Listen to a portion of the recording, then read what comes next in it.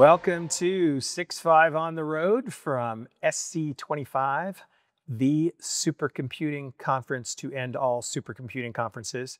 This year in St. Louis, Missouri. Uh, little trivia this is where the Supercompute organization is based and was founded. So, this is a bit of a special event this year. I'm joined by a very special guest, Saurabh Kapoor. Saurabh, welcome. Thank you, Dave. Thank, thank you for having me here. What do you do at Dell, Sarb? Um, so I, I, lead product management strategy for software solutions in AI, compute, and networking uh, business unit. And I also champion Dell at the governing board for Linux Foundation for the Sonic project. So championing some of our open source initiatives, making sure that, you know, bring the best of the world to our customers and partners. Very interesting because it brings up an interesting subject, which is this idea of open standards mm-hmm. As people are building out their AI infrastructure. So start us out kind of with a little 101. What is what is Sonic? Where did it come from? Why is it important that Dell embraces and extends Sonic's capabilities? Absolutely. Well, Sonic stands for Software for Open Networking in the Cloud. It's a brainchild of Microsoft.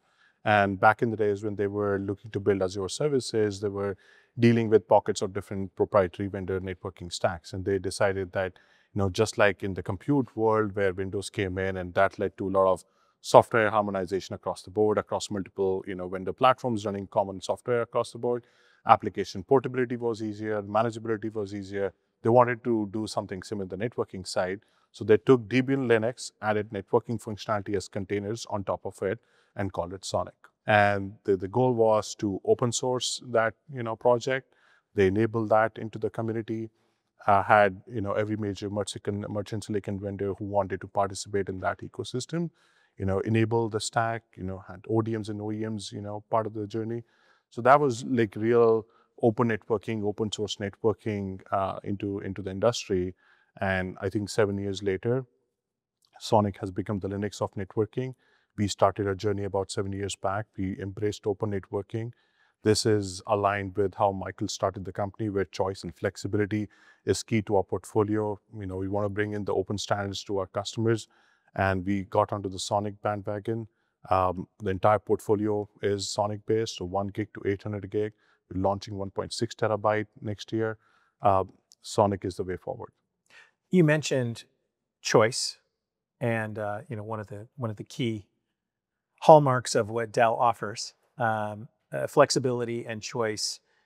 Is AI a headwind when it comes to open standards and Sonic mm-hmm. in the sense that people are absolutely frantic for time to market, time to value?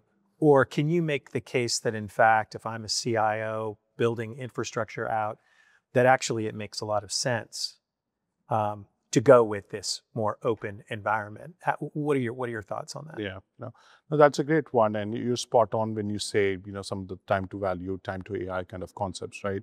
AI is no more a technology trend. It's it's a it's a technology revolution that's happening now. You know, AI rolling out in smart cities, you know, helping climate control, you know, in pharma, you know, improving the rate of predictive, you know, analytics and, you know, health, you know, improvements, you know, drug discovery and things like that. So it's, it's happening real time as we see around us. What's important when you talk to, you know, some of those largest deployments with AI is realization that time to value, trust of technology, and ease of management. Those are the three big things that realizing. And when, when I say time to value is they want to make sure that the technologies they're bringing in, in the next gen technologies, and give them the right capacity to build infrastructures on and move faster. Time to first token is, is what their objectives are. They want to build technologies and infrastructures on, on partners they can trust on because these are big investments, ma massive investments, large clusters with, with a goal to move faster. So they want to make sure that technologies that are proven at scale are, are brought in. And finally, ease of management. Yes, because you can get an infrastructure up and humming, but then you know you also need to make sure that the day two operations and manageability is easier. And Sonic, like check mark across the board on all those three objectives. Uh, it's a technology that is proven at scale at the hyperscaler world. Just at Microsoft, you're talking about 600,000 plus switches in production. So now think of you know the broader hyperscaler ecosystem that has deployed Sonic at scale. Yeah. And and proven for AI from a feature functionality perspective. The the trust element comes in when you see at the, the scale where the technology has been deployed. And then finally, ease of management. Because the stack is modular, microservices architecture, everything is API centric. So you can pull out the northbound APIs, connect into in-house tools, third-party tools, vendor-provided tools. So a lot of flexibility there.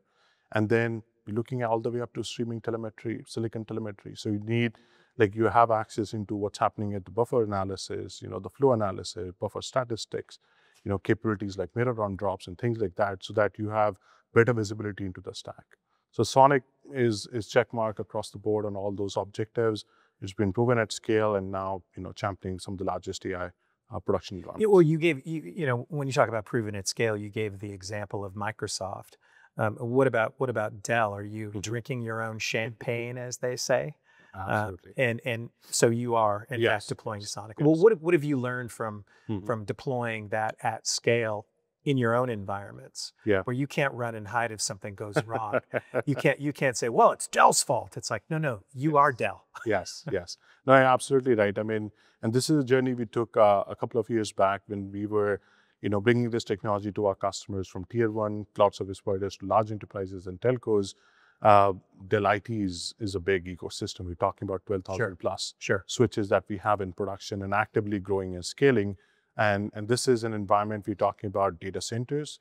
We have manufacturing sites, customer solution centers, executive briefing centers, branch offices. So you see the, the kind of mix we have with, with respect to connectivity. We brought in Sonic across the board started rolling out Sonic across different environments, so uh, 23 global data centers. And we saw a lot of learning during the process, which is, you know, feature functionalities, you know, the kind of hardening and testing we need to do, um, the use cases we were adding as we were extending Sonic from data centers to manufacturing locations and environments where you need power over Ethernet, port security, and all those capabilities. We started extending Sonic for, for some of those use cases. And we saw that you know, enabling Sonic for these use cases led to a lot of ease of management. Dell IT, you know, teams were able to manage those environments, edge locations, just like how they would manage data centers. So they could just scale quickly. There was ease of management across the board. One common software stack that runs across the board was, was the big mantra. And while we were doing this, we were also working on AI to bring in, you know, the next gen technologies to our customers. So rolling out Codium infrastructures and different AI solutions that we were building and basing it on Sonic. So all of AI optimizations that you know make its way into Sonic was was another big initiative in house. So we have a part to 100% Sonic. We're working on it. We have about 3,000 switches in production. We're working towards all 12,000 switches in production in the next couple of years. Some people, when they hear open, they get a chill that runs up and down their spine because they think, oh no, open, that must mean I'm going to have network administrators that are bringing their pet birds to work and they're the only people who are going to understand it. And if they leave, we're in big trouble. Uh, reassure us that just mm-hmm. because it's open doesn't mean that it's not a real enterprise ready, hardened solution. Absolutely. Help us out there. No, you're right. I mean, you know, this is what we get, you know, uh, with, with some of the customers who are kind of you know been using some of the proprietary stack for years, and they you know they always you know have hesitation around hey you know do I do it or not do it, and what you've realized is one you know the, once these users have adopted Sonic into the environment, they love it. They love it to you know just that's the only thing they want to do next, right? Uh, so Sonic and, and, especially with, with Dell ch- championing this technology, you get the best of both the worlds. You get open standards and you know the the pace of innovation that is happening in the community and you have an enterprise partner who's enabling this 24 by 7 support globally across the board so you have a partner who you can call like 1-800 dell for all things you know sonic infrastructure manageability new capabilities predictable roadmap you know enabling services support training certifications whatnot so we have kind of you know helped 1,600 plus production deployments across tier one, tier two cloud service providers, large enterprises, and telco. But we're just getting started. You know, the road for Sonic, as we see others in the vendor community also embracing it, it's it's very encouraging to see Sonic getting mainstream across the board. Uh, the technology has been proven at scale, and, and we are looking to extend this, you know, from the hyperscaler ecosystem to everybody else, from core to AI fabrics. And the feedback has been mind blowing. Uh, we love the customer feedback, keep our ears to the ground to make sure that we incorporate customer feedback into our product life cycles and, just continue to innovate and evolve. So, if someone is concerned about possibly painting themselves into a corner Mhm. in an era where we tend to talk about things for all practical purposes in terms of infinite scale, when someone says 10 gigawatt data center, we've sort of gotten used to that, but that is just, it's mind boggling. It's mind blowing. Um, what would your advice be to uh, someone who is charged with the responsibility of building out infrastructure that isn't going to paint them into a corner? Um, first and foremost, I guess one decision point is around Ethernet for this. Right. Uh, a lot has been made about uh, the advantage in terms of power consumption that comes along with Ethernet, and at scale, that becomes incredible with power being such a constraint. But what would your advice be Right. to someone who is saying, "Hey, I don't want to paint myself into a corner. Um, okay, I'm not as nervous about the whole open thing. I think you're going to be there as a backstop to support me, but but what do I do? Where do I get started? How do I how do I start this? Right. So, well, you spoke about Ethernet, right? A technology that has been proven at scale. Uh, some say it's 50 years old. We say 50 years young. Um, every 18 months, you see the speeds double. Uh, there's a rich ecosystem around Ethernet. Uh, cloud was nothing but distributed computing, all connected over Ethernet and proven at scale, right? You see a similar trend happening in the AI world. You now see some of the largest, you know, supercomputers, you know, being built with Ethernet as the core infrastructure enabling that. Um, what we are seeing now is with all those optimizations that have made its way into, you know, with Ethernet and the network operating system, it is delivering similar performance as, you know, the traditional technologies that champion HPC environments, right? Higher radix switching, ability to address congestion management capabilities, better load balancing, um, adaptive routing capabilities, telemetry-based congestion management, um, RDMA over converged Ethernet to address lossless fabrics. All those things packaged with high radix switching, 800 gig, 1.6 terabyte coming soon, allows that data movement within highly optimized fabric. What you know the users need to um, understand is when we're looking at these AI infrastructures, the workloads are different, the characteristics are different. You're looking at elephant flows, bursty traffics, links that can get saturated in microseconds. So you need that infrastructure that has you know all these AI optimizations. You know we've all brought in all of those capabilities in Sonic. So make sure that you are not leveraging your traditional proprietary networking solutions. You have uh, you know you bring in AI optimized infrastructure to champion those environments. That's first. And second is make sure that you're not just looking at networking independently. AI is all about that solutioning with compute, storage, networking all coming together to a common objective of certain outcomes and use cases that you need from training, inferencing to fine tuning. And at Dell, we brought in the concept of Dell AI Factory, which is bringing the AI optimized infrastructure, making sure we bring in the data element to it. We're not, you know, taking AI to data, but you know, enabling that, you know, infrastructure to bunch of outcomes and use cases and simplifying the journey towards AI. A t-shirt size, package for different workloads, use cases for an end objective. So those are some of the things that we are seeing as best practices and some of the largest rollouts happening with, with those. So we hear a lot about rack scale deployments Mhm. from Dell because these things are becoming largely rack scale deployments. Um, when Dell talks about a rack scale deployment, they're talking about Dell racks. Right. When you talk about Sonic from an open networking perspective, correct me if I'm wrong, Sure. but you can have this Dell Sonic Mhm. Ethernet network that, uh, forbid this may happen, but a customer could in fact Mhm. drop racks in that aren't Dell racks of gear Right. correct? One of the benefits of open standards. So it goes back to that idea of Right. being locked in because Exactly. you love what you're getting, yes. not because of a proprietary standard. yes. But so so that whole Dell networking story is open in that sense. Hundred percent, hundred percent, and then the stack will remain open. As I said, right. This is how Mike can start the company, and choice and flexibility is big because we, we want to give customers the control on how they want to build that infrastructure. And as rightly said, right, they're looking for you know, a good heterogeneous environment. Sonic provides them the platform where they can pick whatever technology, hardware technology they want.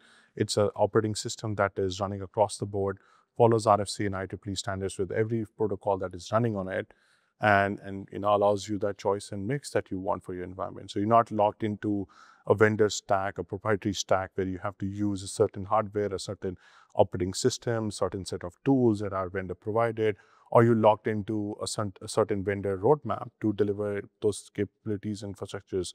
You now are basing yourself on a stack that is open source based. It gives you the flexibility and economics of scale when you know it comes to hardware. Uh, you seek a partner that you know gives you a promise of predictability, support, as you ch champion those open source technologies in your environment and just scale and build on top of it. Saurabh, final question for you. As we look forward mm -hmm. to SC26, because increasingly the supercomputing conference is representing a date in the calendar more important to me than even holidays. As you look forward to SC26, any any predictions you want to go on the record? They can be crazy predictions about the direction we're going to go. What's going to happen in the next year? And don't and don't just tell me that oh you know speeds NIC speeds are going to get faster and network. Yeah, okay, we expect that, right? Yeah. But uh, what do you think? Anything crazy going to happen in the next year?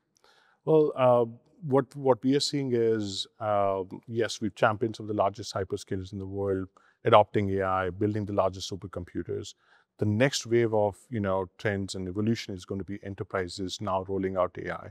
Well, those are not going to be like massive clusters. We're seeing variability from a, like a 256 GPU cluster to a 2K GPU cluster, and and building those use cases and outcomes that they're looking at from banking and healthcare and you know different you know functions within enterprises. I think that's going to be a big thing. So creating those smaller t-shirt sized validated architecture is something that we're laser focused on. And the other trend we're seeing is uh, more likeness towards open standards-based architecture because that helps them grow faster um, and bring down the cost of you know building those infrastructures. Uh, power is going to be another big element. We're looking at the next generation switches now with DLC as one of the capabilities like liquid cooling capabilities are going to be important because these are power hungry devices and how do you manage that cost and, and consumption of power is, is with liquid. So those would be three big ones AI enterprises, ease of management, power consumption, um, and validated architectures. Well, Saurabh Kapoor from Dell, thank you for joining us. And by the way, your comments on uh, sort of the age of enterprise AI deployment in 2026 maps nicely with a study that uh, Wharton recently commissioned, right. interviewing uh, a lot of customers of folks like Dell. Right and uh, and so that that that seems to ring true. But we'll we'll see. We'll see how your prediction bears out at SC26. But from SC25, thanks for joining us. I'm Dave Nicholson for Six Five Media on the road.